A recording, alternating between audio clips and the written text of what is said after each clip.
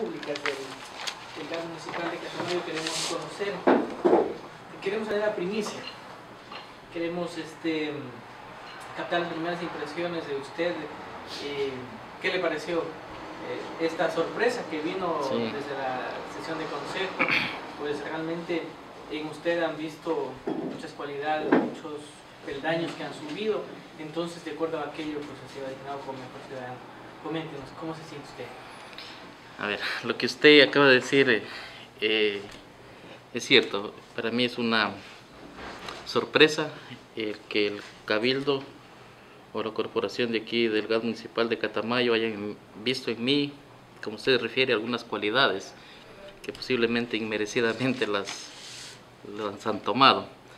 Eh, simplemente tengo que decir pues que el desempeño de mis funciones es lo que he logrado seguramente esto del reconocimiento por las evaluaciones y no sé, o sea, es un poco eh, de sorpresa, ¿no? Pero bien, eh, esta, esta designación que, que, como lo vuelvo a repetir, inmerecidamente lo ha tomado el Cabildo, eh, yo lo cojo con mucha humildad, ¿no? Yo me siento catamayense, como ustedes conocen, yo vivo aquí en Catamayo desde eh, 1976, puesto que mi padre vino como profesor en el Colegio Nacional Nocturno Catamayo, mis estudios primarios, incluso los hice aquí en la Escuela Liceo Arias Carrión, y toda mi vida, mi actividad, mi familia ha estado aquí en Catamayo. Soy un catamayense eh, de corazón, y igual, lo que uno se realiza, el esfuerzo, y todas las actividades son en beneficio de Catamayo, ¿no es cierto? En, en- en más en las circunstancias particulares eh, que desempeñamos, eh, como ustedes conocen, en calidad de juez, es, es para servir a Catamayo, es para servir a la población de Catamayo, es para prestar el mejor servicio que la función judicial puede dar eh, a todos quienes deben acceder a esta tutela de derechos que nosotros estamos obligados a garantizar y a proteger. Un poquito complicada también es nuestra, nuestras funciones, puesto que hay algunas veces en que las personas lo toman como, como contiendas, en el que uno va a salir siempre como triunfador, entre comillas, y el otro perdedor. No son así las cosas, nosotros debemos, eh, con todo el profesionalismo, con todas las garantías, con todo el conocimiento que se ha adquirido en la formación profesional o a través de posgrados y con la capacitación continua y permanente que nos da el Consejo de la Judicatura, poder realizar de la mejor manera nuestra actividad.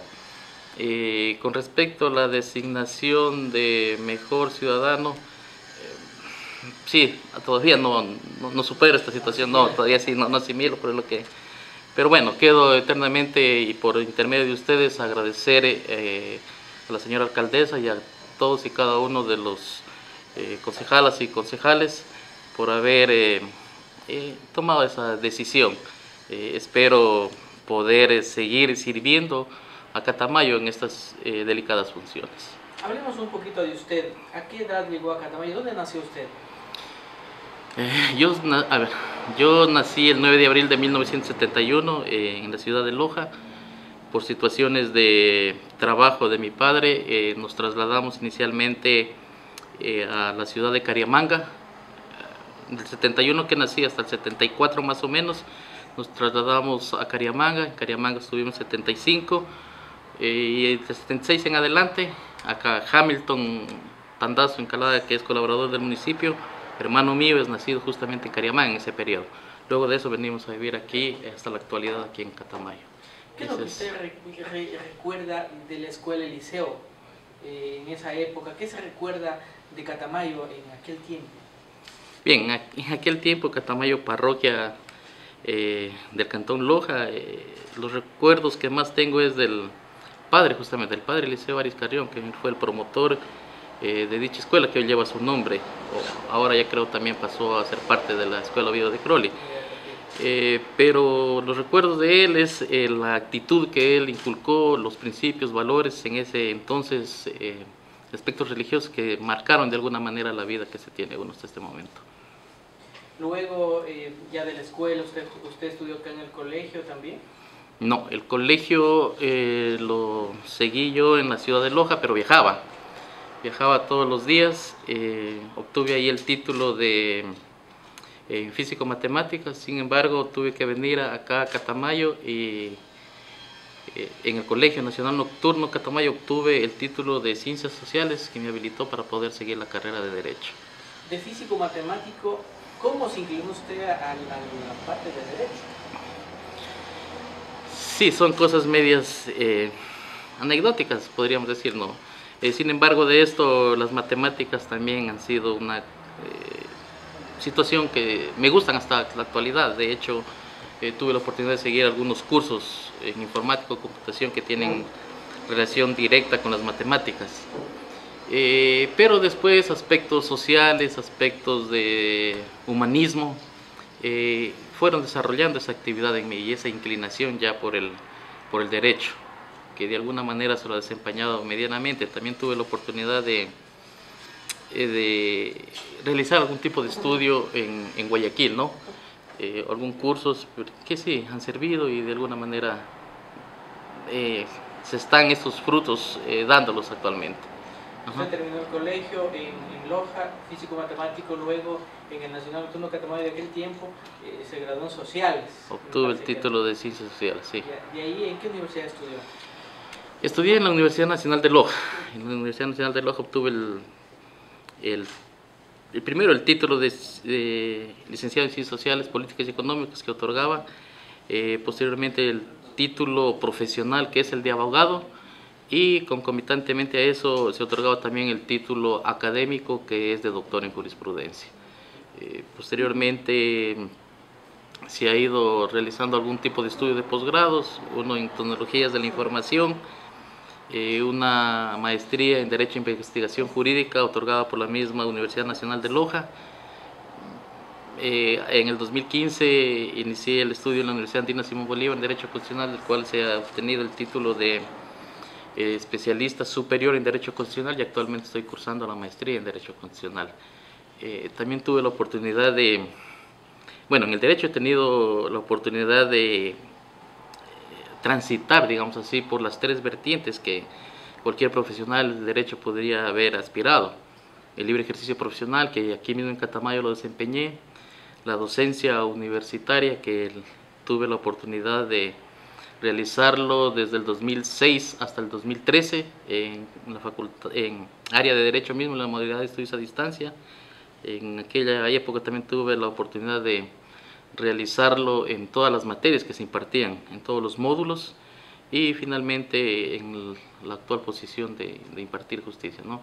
Entonces, en ese sentido profesional yo tengo gran satisfacción de la vida porque he cumplido cualquier aspiración que todo profesional en derecho hubiese tenido. ¿no? Usted no para de estudiar actualmente, nos cuenta que está eh, cursando una especialización y eso es importante también para que sirva de espejo para la sociedad que tenemos alrededor. Hablemos un poquito de, de, su vida personal. ¿Cuáles son las inclinaciones de, Max Randazzo? Eh, ¿A qué edad se casó? Eh, ¿Cuántos hijos tiene? Coméntenos un poquito de esa parte eh, familiar. Bien, en cuanto a la vida familiar, como lo referí, soy hijo de Alejandro Tantazo Tantazo, licenciado que es muy conocido aquí licenciado Alejandro Tandazo Tandazo. Eh, mi madre Celia Fanny María Encalada Carrión, ya fallecida en el 2011. Eh, ellos son los principales eh, que impulsaron el estudio. De hecho, mi mami era bibliotecaria en el Colegio Nacional Nocturno Catamayo, en donde pude inclinarme ya a la, educación formal, si cabe el término, desde muy pequeño. en cuanto a la vida personal o familiar, ya mía. A los 20, 21 años eh, me casé con Judith Magdalena Castillo Ochoa, eh, cuando tenía 21 años. en ese matrimonio tengo tres hijos, Pavel Alejandro, que tiene actualmente 18, Max Josué, eh, que es nacido en el 2001, va a cumplir 17 años, y María Gracia, que cumplió recién 11 años por las situaciones de la vida, actualmente me encuentro en estado civil de divorciado. En el mes de junio del año anterior me, me divorcié. ¿Estás soltero ahorita? Soltero y buscando a alguien. Para romper un poquito el, el, Sí. el- el- el hielo. Eso, eso también, este, como también es importante, doctor. Pero bueno, más allá de aquello, ¿qué les diría usted a los catamayenses, a los jóvenes de pronto que, que a veces se ponen una, una traba y dicen, no, yo no quiero estudiar, estoy muy viejo para estudiar, o, o mi tiempo ya pasó, de pronto a veces eh, la situación económica impide también realizar aquello. ¿Qué les diría usted a, a esa gente que de pronto tiene un no en su cabecita y, y eso le hace que se ponga una barrera? Bien, eh, usted se refiere a esto con respecto al estudio. Eh, eh, tengo entendido y mi forma de concebir actualmente eh, el mundo entero se ve que el desarrollo de los pueblos no va a ser necesariamente por el capital económico, sino más bien por el capital humano, si es que cabe el término. El desarrollo de los pueblos posteriormente se va des- va a ser significativo en la medida de que sus integrantes, sus ciudadanos, puedan desarrollar o dignificar o tener conocimientos en, en las muchas actividades que hay en la vida, desde el punto de vista social, desde el punto de vista científico, tecnológico especialmente. Eh, eso nos hace llegar a la conclusión de que todos, absolutamente todos, tenemos, eh, si se quiere, un poco la obligación de continuar estudiando. La edad eh, no es un límite para estudiar, pero sí hay mejores oportunidades en los periodos propios para poder desarrollar la educación. Eh, por eso está concebido, ¿no es cierto?, la, la formación eh, formal de todas las personas, de 6 años, 7 años, 12 años primaria, secundaria y la parte de universitaria que estamos hablando hasta los 21 años. En ese periodo que justamente por situaciones inclusive fisiológicas o biológicas, todos debemos aprovechar, todos debemos realizar, sin que esto quiera decir que las personas, como lo indiqué anteriormente, puedan estudiar. El estudio es eh, el primer parámetro de libertad que tenemos todas las personas. Y aparte de ese parámetro de libertad, de ese parámetro de certeza y de convicción que tenemos todas las personas, de alguna manera también eh, sirve posteriormente para el desarrollo de esa persona en la parte económica, profesional y familiar. Entonces, eh, todas las personas y los jóvenes debemos estudiar y aplicar en lo que mm, tengan algún tipo de afinidad. Eh, el caso que usted refería, eh, a mí terminé mi educación secundaria por físico-matemáticos, pero al final terminé por una situación social que es un poco diametralmente opuesta. Lo importante es realizar lo que a uno le gusta.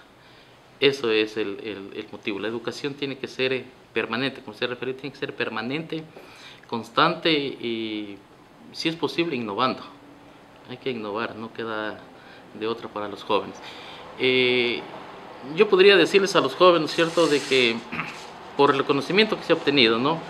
El reconocimiento que se ha obtenido es eh, no como tal, como Max Tandas como tal, sino como una persona de un pueblo que con circunstancias normales o posiblemente no con las mismas posibilidades oportunidades de, de ciudades grandes, pero sin embargo se ha tenido la oportunidad de que está en cada uno el poder eh, salir y el salir y hacer eh, lo mejor posible en la actividad, independientemente de cuál sea, realizarla. Eso es lo que hay que hacer y eso es lo que llena de satisfacción. Lo otro, los reconocimientos, sirven, ¿no? Sirven, pero no, más bien es la satisfacción personal que uno se tiene. Yo lo vuelvo a reiterar, eh, tengo la satisfacción que en el área que he escogido, eh, transitado por las tres áreas y en ese sentido estoy satisfecho.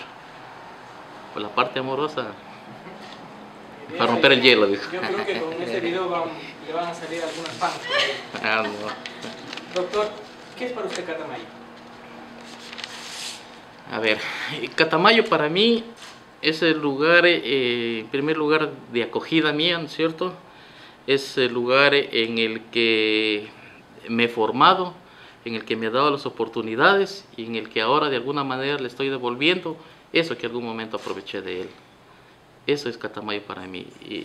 Mi medio en el cual que me desarrollo en todos mis ámbitos. Ámbito social, académico, cultural y actualmente profesional y laboral que es el que estamos desempeñando. ¿Qué es para usted la justicia? La justicia, bueno, tiene muchas acepciones, ¿no? pero es un valor al que debemos aspirar eh, todas las personas. La justicia es un valor que debe ser el horizonte o guía de todas las personas. Nosotros debemos, eh, hay, hay un dicho, ¿no es cierto?, que debemos o debes guiarte en tus actuaciones por lo que la rectitud de tu conciencia te dicta. Y esa rectitud de la conciencia que cada uno debemos tener es siempre orientado a la justicia. Es lo que precisamente nos muestra el símbolo de la balanza, ¿no? El equilibrio. Sí, eh, bueno, la connotación de la balanza tiene muchas más eh, interpretaciones. El hecho de que está vendada es el que debe, que a la justicia no le interesa. Si lo representamos en la función judicial, no le representa ninguna posición económica, social, eso no debe interferir. Esa es la independencia que debe tener, la imparcialidad que debe tener la justicia.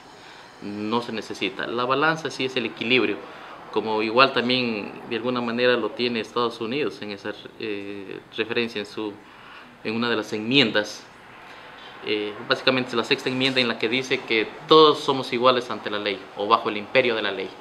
Entonces ese es el significado y ese es el de la justicia que se debe aspirar. Es más, hay dichos de que si hay conflictos entre las leyes, lucha siempre por la justicia. ¿Cómo le gustaría verlo usted a Catamayo?